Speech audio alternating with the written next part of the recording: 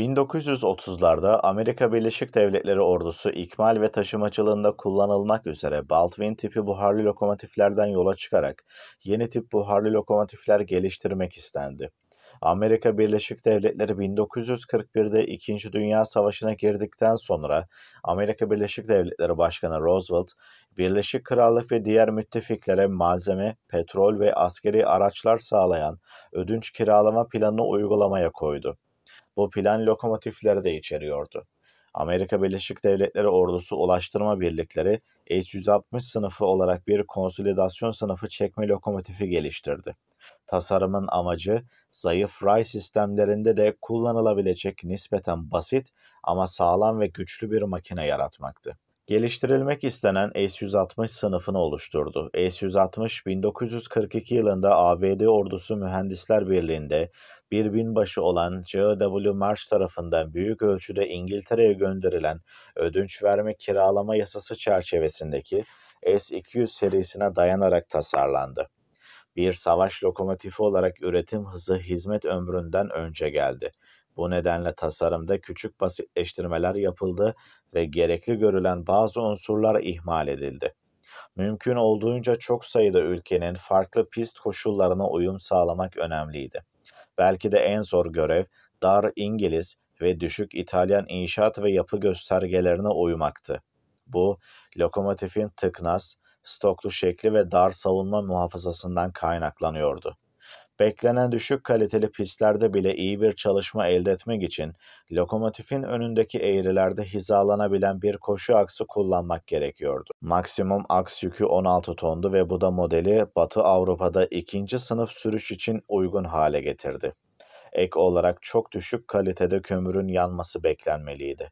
Bu nedenle S-160 serisinin lokomotifleri aşırı ısıtılmış, iki silindirli servis vagonu buharlı lokomotifleri, iç çerçeveli 1D aks düzeni yani çerçeveye gömülü 4 bağlantılı tekerlek seti ve önlerinde eğrilerde durabilen bir koşu tekerleği vardı.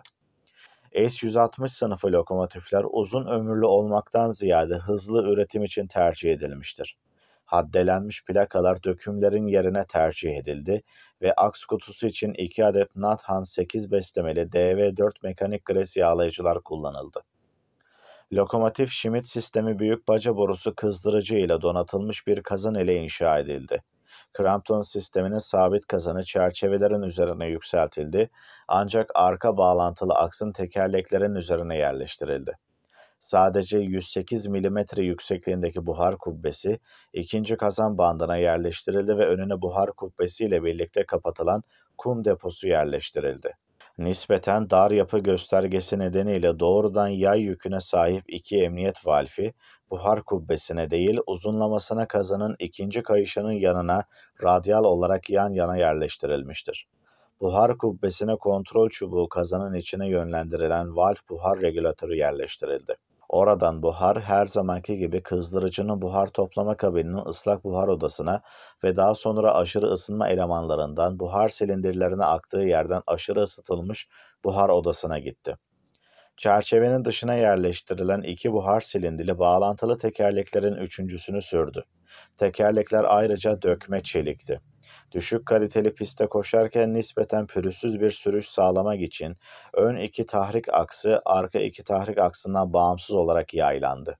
Buhar silindirleri ile sadece itici birlikte dökülmekle kalmadı. Aynı zamanda bir duman tutucusu olarak görev yapan üst çıkıntıya sahip tek bir ünite oluşturdu. Bu, araç sağlamlığı için faydalıdır ancak kazalar sırasında hasarı onarırken dezavantajlıdır. Buhar tüplerinin çıkış boruları baca ile hizalanmıştır. Sağ krank tekerlek aksında soldan 90 derece öne doğru sıkıştırılır. Piston kolu bir geçiş sistemi değildi. Yani öndeki silindir kapağından geçirilmedi. Bu da silindir aşınması açısından dezavantajlı bir çözüm değildi. Arkada pistonlar 5 odacık halkasından oluşan metal bir conta ile yapılmıştır. Çapraz kafalar iki kabloluydu. Ancak her iki tel de piston kolunun üzerine yerleştirildi. Buhar tüplerine basınç dengeleme cihazları veya hava valfleri takılmamıştır. Lokomotifler 1448 mm koşu çemberi çapı tahrikli ve kuplajlı ve 838 mm çapında dökme çelik koşu tekerlek setleri ile inşa edilmiştir. Bu tekerlek çapı hem yük hem de yolcu trenlerinin taşınması için uygun hale getirdi. Aks yatağı tellerinin ve rulmanlarının yağlanması bir yağlama presiyle gerçekleştirildi. S-160 sınıfı lokomotif Amerika'da yaygın olan avantajı daha doğru işlenebilirlik, daha sert bir yapı ve uzunlamasına kirişlerin içindeki parçaların daha iyi erişilebildiği bir şekilde kiriş çerçevesi olarak adlandırılan bir şekilde yapılmıştır. S-160'lar çok fazla ağır mal trafiği işledi ancak sıcak aks kutuları boru plakası nedeniyle yüksek bir arıza oranına sahiptiler. S-160'lar güçlü ve serbest buharlı lokomotiflerdi ancak İngiliz standartlarına kıyasla frenlemeleri zayıftı. Lokomotif için bir buhar freni kullanıldı ancak lokomotiften uzun mesafe nedeniyle sürücü valfi ve fren silindiri üzücü bir şekilde yetersizdi. Lokomotiflerin çoğuna 3 tip fren cihazı takıldı. Lokomotifin kendisi ve servis vagonu, lokomotif başına 2 adet 8'e 860 inçlik buhar fren silindirlerin takıldığı buhar frenleriyle frenlendi. Treni frenlemek için buhar kabinin önüne bir Westinghouse hava pompası monte edildi ve lokomotife bir vakum pompası monte edildi. Hava frenlerinin taşınması için gerekli kablolama, fren valfleri ve hortum bağlantıları araçlara monte edildi. S-160'ların bazılarında hem lokomotif hem de servis vagonu hava frenleriyle frenlendi. Ancak bu örnekler buharlı frenlerle donatılmadı. Fren blokları lokomotifin tahrikli tekerlek setlerini önden frenledi. Fren kolu tertibatı bir basınç dengeleme mekanizmasına sahipti. Lokomotife ne bir hız göstergesi ne de buharlı ısıtma ekipmanı monte edildi. Buhardaki parçalar bir sıcak parça yağlama pompası ile yağlandı. Olumsuz kavrama koşullarında buharla çalışan hava ile çalışan bir kum ocağı, birinci ve üçüncü bağlantılı tekerleklerin önüne kum yerleştirdi. Lokomotifler ayrıca elektrikli aydınlatma ile donatılmıştır. S-160 sınıfı lokomotifler için 4 akslı iki boşulu servis vagonu inşa edildi. Tender vagonunun uzunlamasına kirişleri, öndeki terminal kabini, arkadaki çeki demiri ve ortada ve pivotta bir plaka ile birbirine bağlanan 4 adet 304 mm U kesikli braketti. Her iki tarafın aks kasalarında ortak bir makas dökme çelik destek bulunurken tender vagonun traversleri boji çelik braketlerini helezyon yaylarla destekler. Yük, boji şasilerine bir top fincanı pilotu ve yan kayar desteklerle aktarıldı. Servis vagonuna yatay bir buhar ve Westinghouse hava fren silindiri takıldı ve tüm tekerlek setleri bir taraftan tekerleklerin pivot tarafında frenlendi. Su deposu kömür rafını alt nalı şeklinde çevreleyen bir dolap tasarımına sahipti. Kömür rafının dibi lokomotif çadırının zeminine ile aynı seviyedeydi.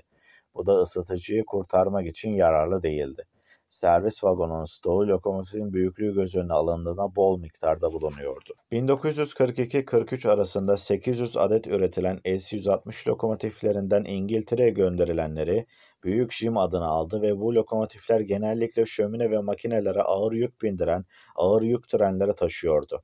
Bu nedenle üçü İngiliz hizmetinin birkaç ayı sırasında meydana gelen küçük veya büyük kazalardan, kapanmalardan ve hatta kazan patlamalarından kaçınamadılar. Üretimleri devam eden 160'ların 250 adeti meşale operasyonunu gerçekleştirmek için Kuzey Afrika'ya indi. Normandiya çıkarması ile kıta Avrupa'sındaki günlerine başlayan S-160'ların başına talihsiz olaylar da gelmiyor değildi. Amerika Birleşik Devletleri'nden gemilerle gelen S-160 lokomotifleri Alman denizaltılarının saldırıları nedeniyle denizin dibine boyluyordu. 18 adet S-160 lokomotifi böyle bir sonu yaşamaktan kurtulamamıştır. Müttefiklerin Avrupa'da ilerleyişiyle S-160'ların Avrupa'da kullanımı artmıştır. Müttefiklerin zaferinden sonra bu lokomotifler Avrupa'da ve dünyanın diğer bölgelerinde taşımacılık görevlerini üstlenecekti. 1946'ya gelindiğinde Amerikan lokomotif üreticileri Alco, Baldwin ve Lima toplam 2120 adet S-160 lokomotif üretti. D gününden sonra lokomotifler ilk olarak Fransa'ya gönderildiler ve oradan savaşın bitiminden sonra Avrupa'nın yarısına dağıldılar. Batı Avrupa'daki durum istikrara kavuştuktan sonra makineler hızla gereksiz hale geldi. Halbuki Doğu ve Güneydoğu Avrupa'da durum böyle değildi. Lokomotifler Birleşmiş Milletler Yardım ve Rehabilitasyon İdaresi aracılığıyla Polonya'ya, Çekoslovakya'ya, Macaristan, Yugoslavya ve Yunanistan'a gitti. Burada makineler gönderilen ülkelerdeki ilgili standartlara uyarlandı. Ayrıca bir dizi makine Kuzey Afrika, Meksika ve Güney Amerika'ya gitti. Asya'da da Çin'de ve Hindistan'da ve her iki Kore ülkesinde kullanıldılar. Ayrıca Sovyetler de doğrudan Alko ve Baltvin'den 200 lokomotif satın almıştır. 1947 yılında S-160 lokomotiflerinden 50 adeti Türk Demiryolları'na teslim edildi. Alınan lokomotifler 45.171'den başlayarak numaralandırıldı. Teslim alınan lokomotifler Türk Demiryolları'ndaki koşullara göre birkaç değişim yaşadılar. Hava pompası duman dolabının yan tarafına taşındı ve yeni bir duman dolabı kapısı uygulandı. Lokomotifler Türk Demiryolları'nda 1980'lerin sonuna kadar çalıştı. İki lokomotif de askeri amaç için kullanılmıştır.